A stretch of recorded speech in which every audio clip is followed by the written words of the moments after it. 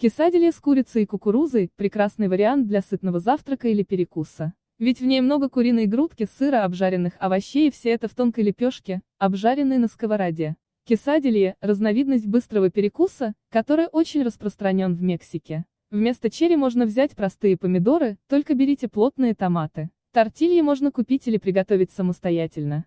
Сыр тоже можно взять любой, но обязательно твердый, который хорошо плавится, ведь именно он будет держать начинку внутри кесадилье.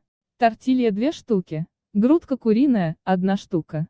Помидоры черри 3-4 штук. Кукуруза 1 столовая ложка, консервированная. Перец болгарский – 1 штука. Лук репчатый 1 дробь 2 штуки. Сыр 40 грамм, твердый. Томатная паста 1 столовая ложка. Соль по вкусу. Перец черный по вкусу.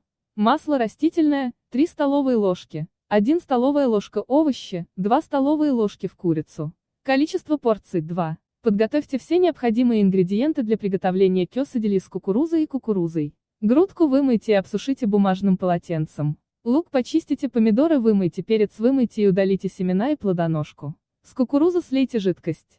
Болгарский перец порежьте кубиком. В сковороду налейте растительное масло и добавьте перец. Репчатый лук порежьте и добавьте к болгарскому перцу.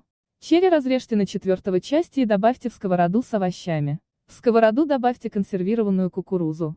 Поставьте сковороду на среднем огне в течение 7 минут, перемешивая. Куриную грудку порежьте тонкой соломкой. В сковороду влейте растительное масло и разогрейте, добавьте курицу.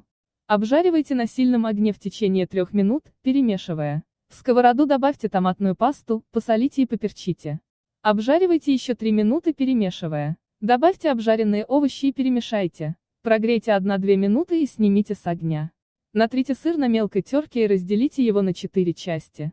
Разложите тортильи на стол и посыпьте одну половину лепешек сыром. Выложите поверх сыра куриную начинку поровну. Посыпьте сверху оставшимся сыром. Закройте начинку второй половиной лепешки и обжарьте с двух сторон на горячей сковороде в течение 2-3 минут. Сразу подавайте к столу. Приятного аппетита!